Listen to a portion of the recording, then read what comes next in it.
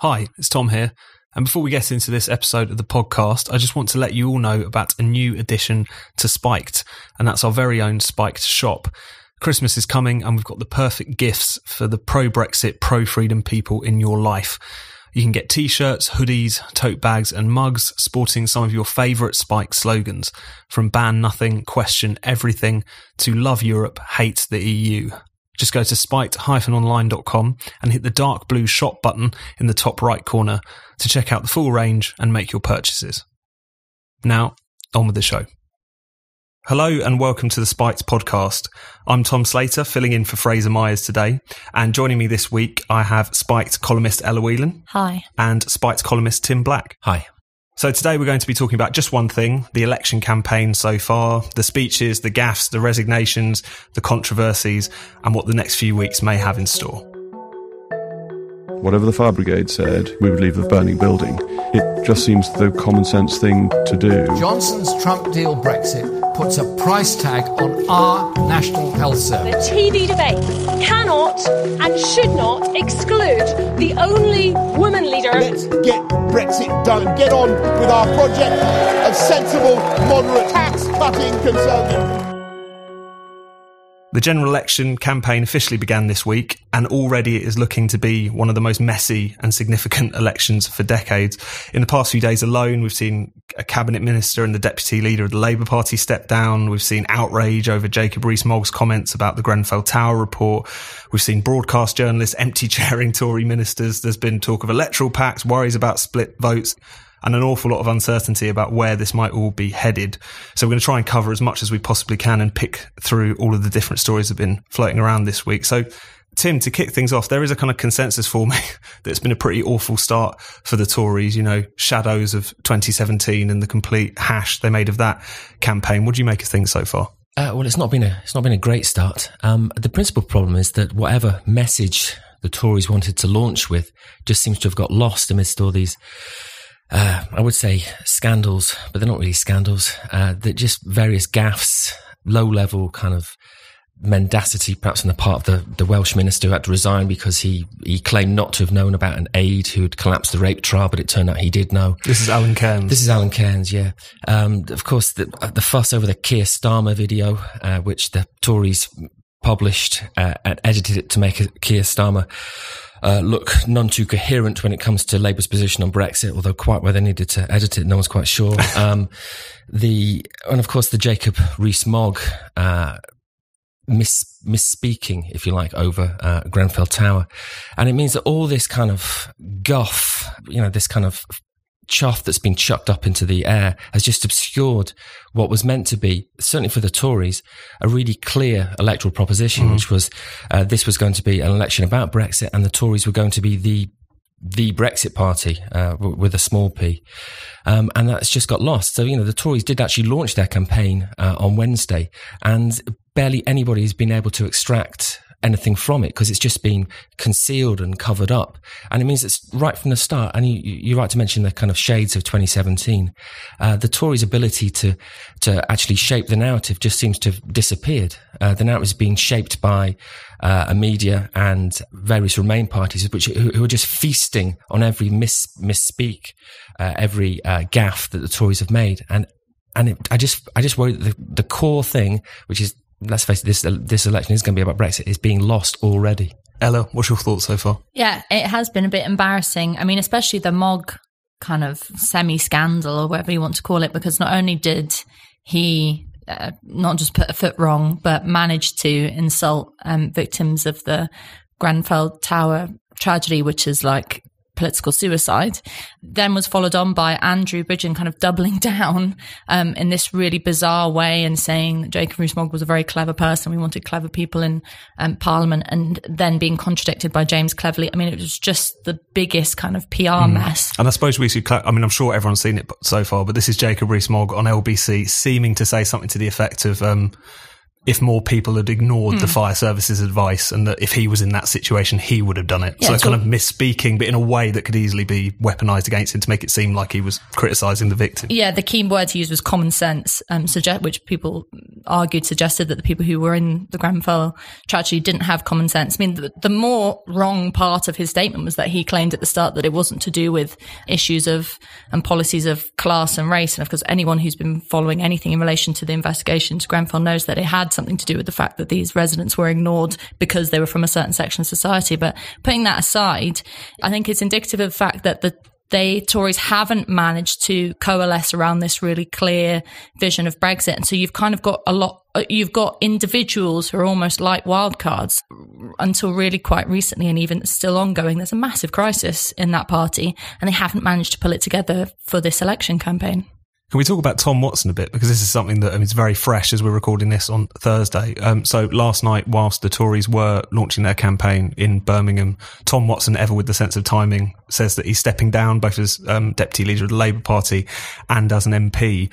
Um, and it's provoked, um, obviously, a lot of discussion about what this means for the Labour campaign and what this means for the soul of the Labour Party, as he was seen as someone who was kind of a, the last holdout and the figurehead of the moderates in the midst of the Corbyn takeover. But it's also been really striking the discussion of it since then, you know, especially because there seems to be a bit of a rewriting of history. The sense that Tom Watson is a moderate, is incredibly sensible, despite the fact, as we all know, this is a bloke who, you know, fronted the campaign for the shackling of the press and who used parliamentary privilege to spread conspiracy theories about paedophiles um, and really didn't cover himself in glory in the midst of all of that. Tim, what did you make of the kind of response to that big bombshell? I think the most remarkable thing about the uh, response, certainly on uh, the Remain side, because you might as well talk about all the parties that support Rem- Remain as almost being like part of one side, was that they were w- willing to ignore everything that Tom Watson actually did throughout his parliamentary career and just to you know, almost like sanctify him. It was a perfect example of uh, you know what what effectively is remain washing. It doesn't matter what you might have done in your in your political career, what you might have stood for, and no matter how reprehensible, certainly in the eyes of uh, certainly in what would have been the eyes of the left. If if you support Remain right now, all of that is you're absolved. You're absolved of anything you might have done. You are a a, a, a good person. So Tom Watson has just has, has been sanctified almost entirely because he supports Remain, despite the fact that, yeah, Tom, as you mentioned, there is the uh, his promotion of the paedophile scandal at the heart of Westminster, basically recycling what effectively was like an urban myth that's been hanging around since the 1970s, which was always premised on the idea that the Tories and the establishment are so evil that they are abusing children and murdering them. And Tom Watson is parroting that, using parliamentary privilege to parrot it too. And he, he, he's parroting it three decades later, um, and he, and he con- continuing to ruin the lives of, of, of those he was accusing and also the families of those he was accusing. It's you know, terrible. Ella, let's turn for a second just to the to the Lib Dems because we haven't mentioned them so far. I think one of the um, striking things so far is how much Jo Swinson has been leaning on identity politics. so there's been this big row over the ITV debates, the leader debates, which are going to be Jeremy Corbyn versus Boris Johnson. The Lib Dems launching some sort of legal challenge, at least kind of um, trying to fire a bit of a warning shot.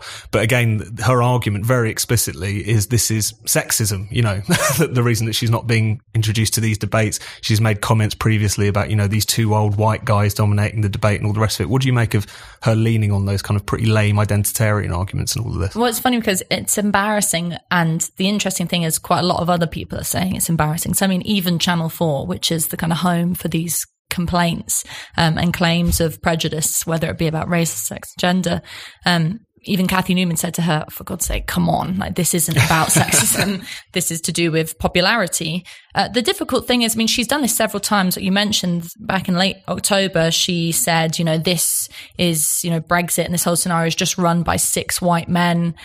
I mean, seemingly forgetting that her has, herself is white, and so that kind of comment didn't exactly land in the way she hoped it would. Um, and then more recently, in relation to the television debates, she's she's kind of almost sounding conspiratorial. She said, and this is a, a quote: "These two, meaning Corbyn and Johnson, have got together and said, let's just do it together and pretend that it's something we can decide." So, in in her over world, in her overinflated ego, what Johnson and Corbyn are worried about is blocking Swinson out of a debate. It's it's crazy. Um, but the whole "I'm a woman and so I'm being discriminated against" thing is so old in in British politics, and it's just so overused. We've had a whole host of different MPs claiming that they've faced sexism in relation to Brexit. Everyone forgetting that we've had a female Prime Minister, Theresa May, um, and that uh, politics does not at the moment have a gender problem. It's got a democracy problem. Um, so it's really, really cheap. And I mean, she's also suffering when she when she kind of invokes this whole identity politics plea, it always bites her back on the ass because what's happening at the moment, there's a sort of semi scandal rubbling with her inability to, or her refusal to step down and re- make Angela Smith or her husband resign. Angela Smith, that's uh, the notorious funny tinge MP, um, whose husband said that Dawn Butler was lying about claims of racism. So th- this is a kind of mess that she shouldn't get into because it inevitably never works out.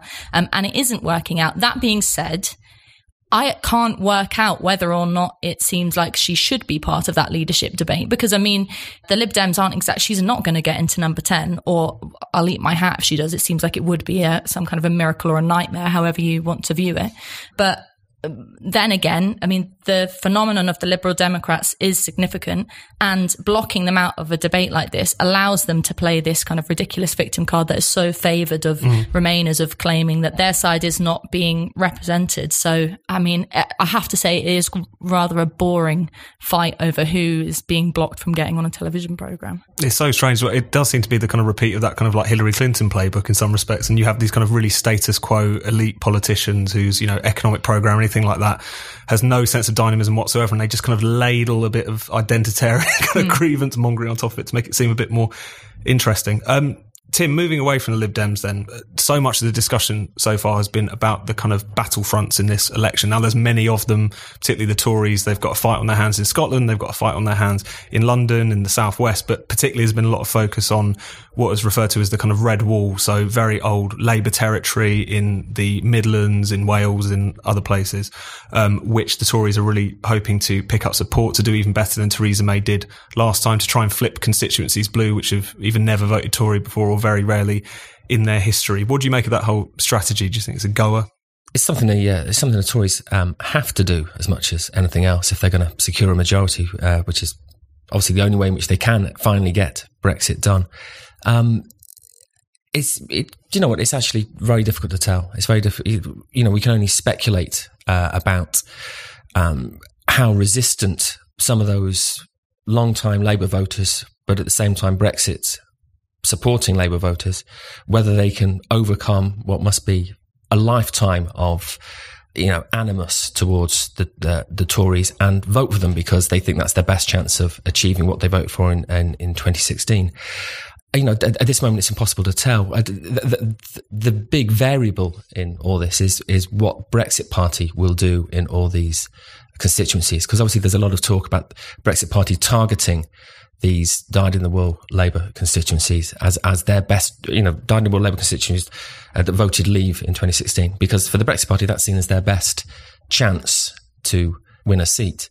And of course, we don't know whether that will therefore undermine the Conservative Party's efforts, or perhaps perhaps it will aid them. Perhaps there that, that the Conservative Party will be able to pick up enough support, and the Brexit Party will peel enough voters off the Labour support uh, for the Tories to to get these seats. At, at this moment, it's just very very difficult to tell. Ella, what do you make of all this? Well, it's interesting you had that the phenomenon of Workington man cooked up by a think tank, the suggestion that this is the kind of stereotype of the northern voter of whom the, you know, things like this rugby supporting, salt of the earth, non-graduate, who the Tories need to pick up off of Labour in order to win. And to his credit, Nigel Farage said, this is really patronising. This kind of stereotyping is ridiculous. We're not going to buy into this. Unfortunately, he then went and bumped into a Workington man um, on the campaign trail who was a Labour supporter who, you know, spun the kind of usual criticisms of you're spreading hatred and all that against Nigel Farage, and they disagreed on the issue of a second referendum. I think that we'd be misled if we underestimated the entrenchment of these kind of party um, loyalties, because I think that part of the problem not not celebrating this is that because Brexit has been spun out for three years, um, because people feel really knackered, and because largely it's turned into this kind of petty fight about trade policies. It's kind of had all the oomph taken out of it to a certain extent. Then it's there's you know fair ground for Labour to come back and say no, we want to talk about the NHS. We want to talk about you know their economic policy is you know, as always, isn't groundbreaking, but it's it's better than the Tories, or at least it's talking about spending more and and got a slightly more ambitious. So, you know, the worry is that people will buy into this idea as Brexit as just another policy initiative and stick with their um, party loyalties. I think the only way that that could um, change is if the Brexit Party in particular really differentiate themselves from the Tories in the kind of the hardness of the Brexit option and also kind of try to spin it more on, which I think they are successfully doing, on the political aspect of it, the democratic aspect of it, and leave the whole kind of this shtick of we're we're um, you know we're businessmen. We do good deals. The whole boris johnson line of like get it finished get it over with as if it's just this kind of tick mm. box activity. But I, uh, uh, you know i'm not i'm not hopeful I haven't given up yet but i'm not hopeful that this is going to really shake people out of their mm. Old party loyalties. There does seem to be a slightly strange assumption in this, mainly coming from Tory supporters, of course, that Boris Johnson is the candidate that the Midlands and the North and the North East have just been waiting for, which seems to be a bit of a stretch. It's interesting. There's a bit of analysis as well, which seems to suggest that um, really the intention here is less because actually one thing that's not really talked about much in terms of 2017 is the how well Theresa May did with those kind of Labour Leave voters. She picked up an awful lot of support in those kinds of areas. It just wasn't enough, and she ended up picking up, I think it was about six kind of Labour Leave seats. And there's a lot of discussion actually about really the aim is not necessarily to pick up more of those people, but to hope the other parties do worse. You have a kind of 1983 situation where the opposition are infighting, your vote doesn't necessarily go up, but you still take those kinds of seats. So even then, there feels like you know, uh, I don't think any of us ever thought that suddenly the Tory party were going to become, you know, the party of Workington man or whatever stereotype we're using. But even then, it seems to be a little bit more kind of tactical and opportunistic. Ellie, you touched on the Labour Party there, and we haven't talked too much about them just yet. Jeremy Corbyn gave a speech in Harlow in Essex earlier this week in which he made his pitch, which is clearly going to be the pitch of the campaign, which is that Boris Johnson is Conservatives. They want to deliver this Trump deal Brexit. they want to deregulate. They want to serve you up maggots in your orange juice. And he very much tried to kind of sidestep the issue of Brexit. Why would I want to talk to the 52% or the 48%? I want to talk to the 99%, whilst at the very same time making very clear that Labour's position is not to rip up its deal with Europe to do the second referendum, which would be Remain versus a flavour of Remain in the form of a Labour Brexit. You know, will this wash for them? Will they be able to, as they seem to have been able to in the last election to some extent, kind of sidestep the issue of Brexit and pick up some support that way? Do you think that's going to work? I'm not sure because the point is Labour has been saying for a long time, and in his speech in Harlow, um, you know, Corbyn asserted, you know, this really isn't complicated, and yet their Brexit policy is hugely complicated mm. and counterintuitive. I mean, you know, it's it's embarrassing watching them try to describe it um, and explain it in speeches on the media and on the doorstep. Where you know, as you said, it's basically we believe in Remain, but we're going to fake this deal that we none of us really like, and then put it to you in a referendum that will be, for all intents and purposes, Remain versus Remain. And there's there's there's no real way you can spin that positively. It, it is to positive um, policy. It's confusing and it's disingenuous. I think that people will, even their own supporters have been kind of complaining for a long time that the Labour Party policy on Brexit hasn't been clear and it hasn't been clarified. It is the same thing that we've been hearing for the last year or so. And, uh, you know, you get the distinct sense that Corbyn doesn't really believe it either. I mean, the fact that he began that speech in Harlow by profusely thanking Keir Starmer for what a wonderful job he's done over the last three years. I mean, everyone and their mother knows that those two hate each other. So that's just ridiculous to do that kind of thing. And to suggest that this has been, you know, backed up by claims that, you know, this massive speech about how the NHS is going to be sold off to Trump, which is really kind of a conspiracy theory at this stage. I'm not sure that it is going to work because I mean, like you said, he he said this line of why would I want to speak to half the country? I want to speak to the whole country. It means denying the fundamental reality that everyone knows about the Brexit debate. You have to pick a side. So uh, you know he's not going to win over the kind of hardcore Remainers, which are crystallising within the Labour vote, and this is going to really piss off every Leave voter with a head on their shoulders. So. I don't think it's particularly a successful way to go forward. Tim, what do you make of the Labour pitch so far?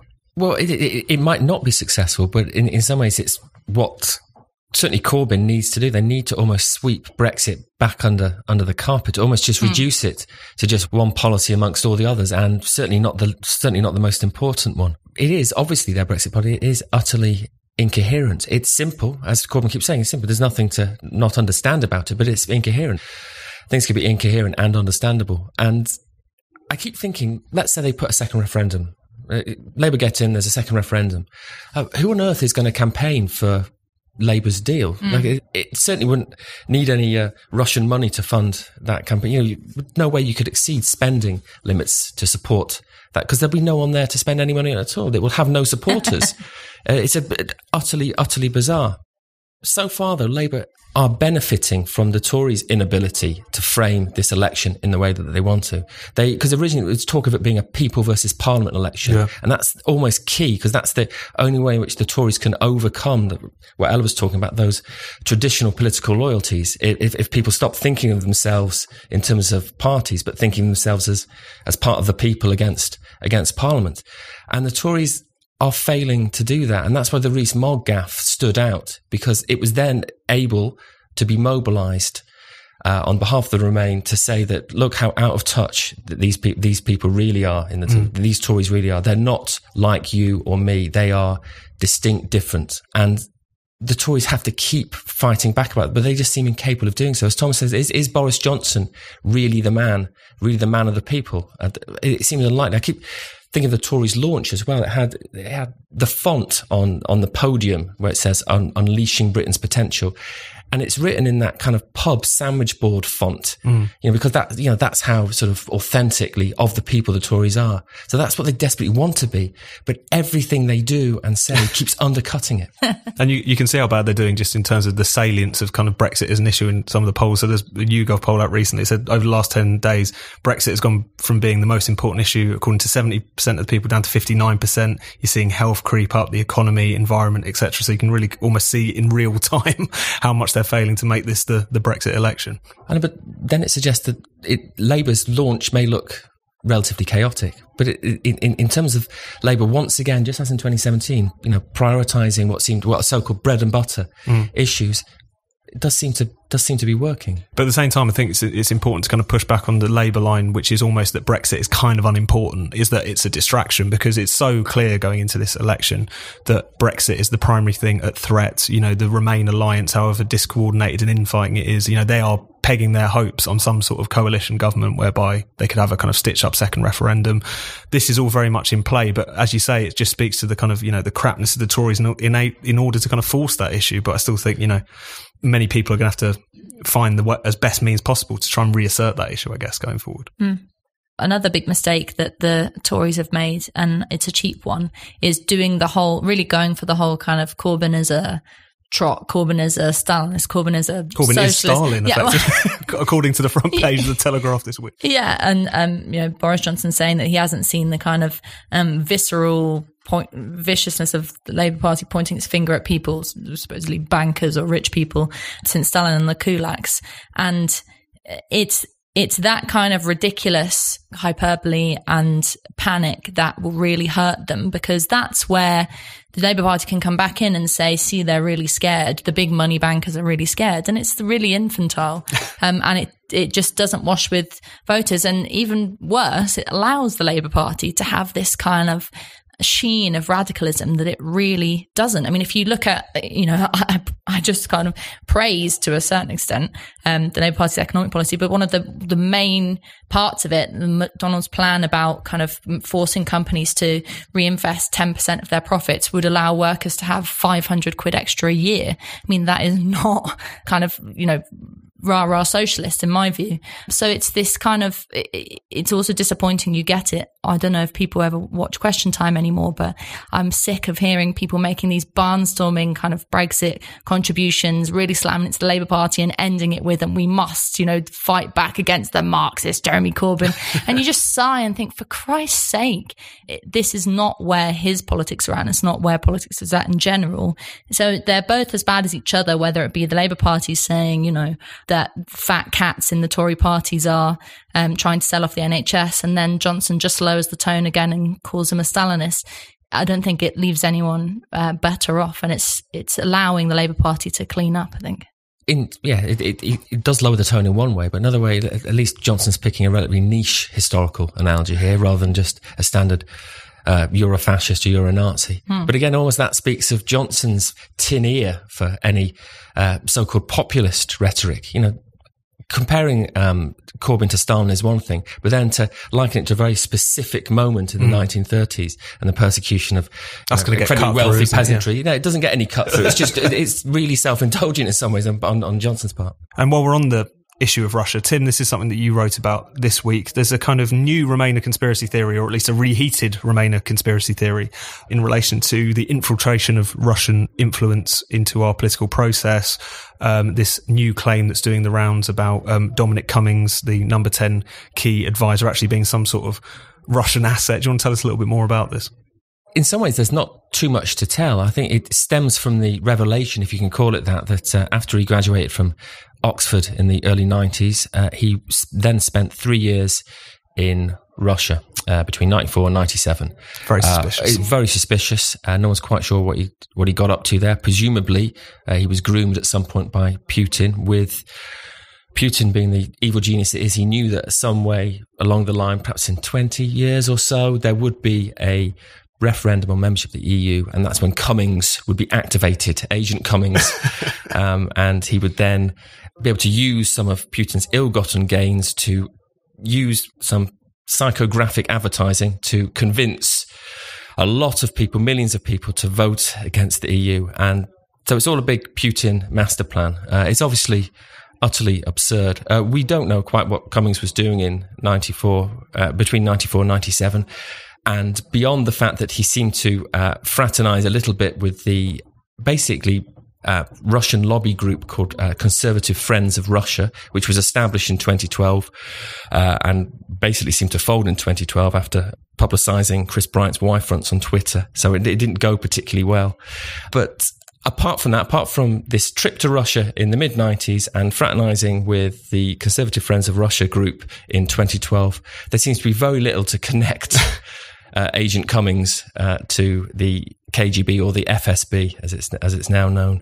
But that doesn't matter. That doesn't matter because if you are a Remainer conspiracy theorist, then a lot of Remainers just seem to embrace some form of conspiracism. The two go quite well together, They like. do seem to go quite well together. You've got two dots very far apart, and they've joined them, and they're asking all their supporters to join those two two dots uh, because there you've got the secret and the reason why Brexit happened, which was, of course, as we all know, because Putin planned it, and it's just so dispiriting to constantly have to feel that you've got to defend what happened in 2016 as a, as what it was, which was a it was a democratic vote in which people carefully considered whether they wanted to stay in the EU or leave it. It had nothing to do with Russia, but we still have to defend it. We should probably point out it wasn't just kind of FBP kind of lunatics as well. Emily Thornberry, the shadow uh, foreign secretary, wrote to Dominic Raab asking if um, Cummings had been properly vetted and all the rest of it.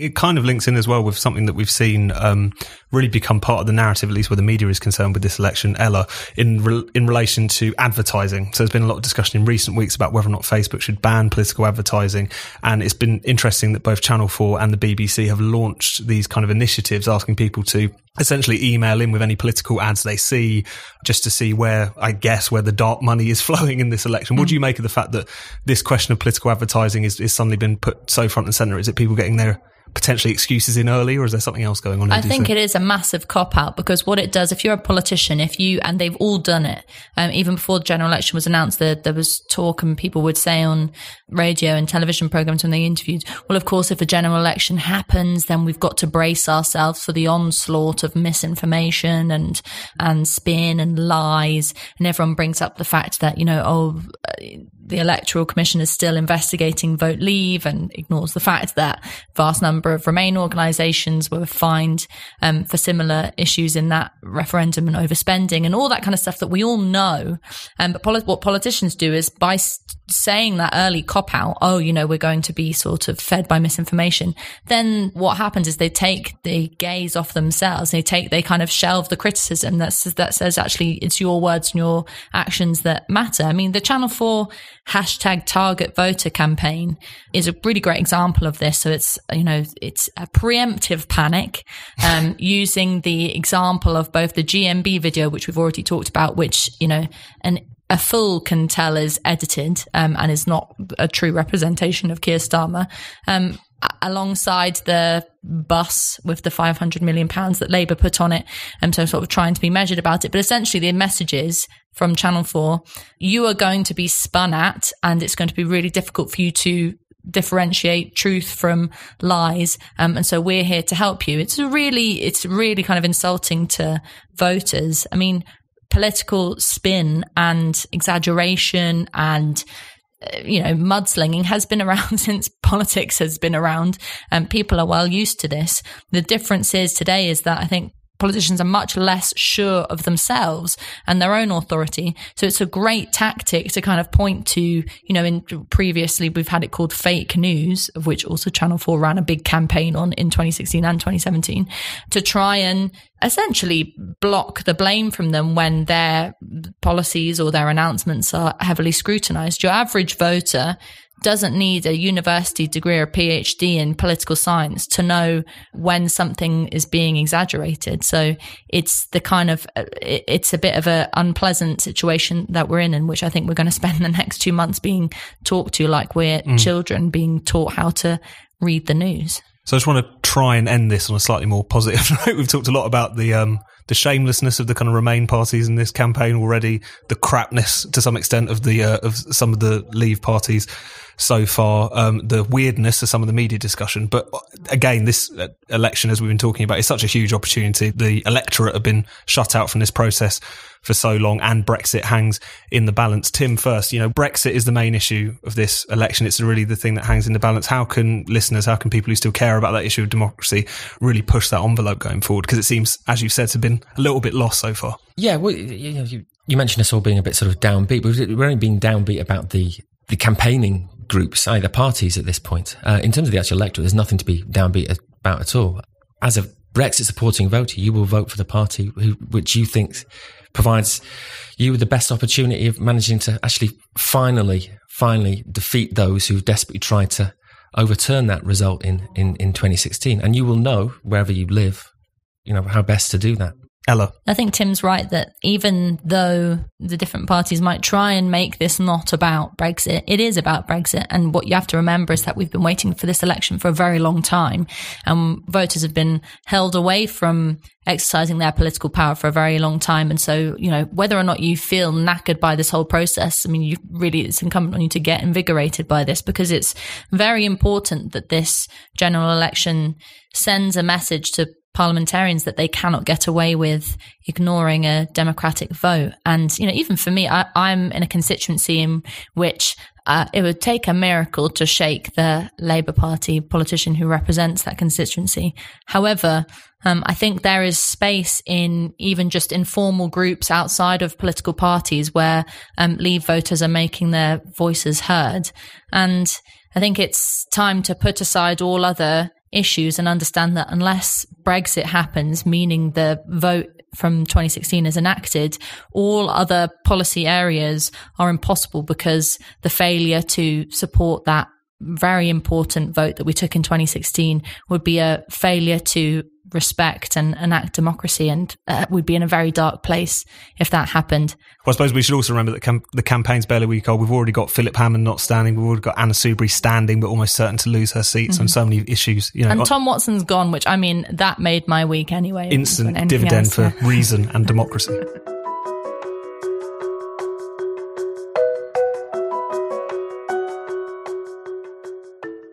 You've been listening to the spiked podcast. Please do subscribe if you haven't already to get the show direct every week. If you enjoy the show, please do take a second to leave us a rating and a review with your podcast provider. It's a great way for us to reach new people. And if you really enjoy the show and you'd like us to help us continue to do what we do, please do consider making a donation. Just go to spiked-online.com and hit the big red donate button in the top right corner. Anything you can give is greatly appreciated. Thanks so much and see you next time.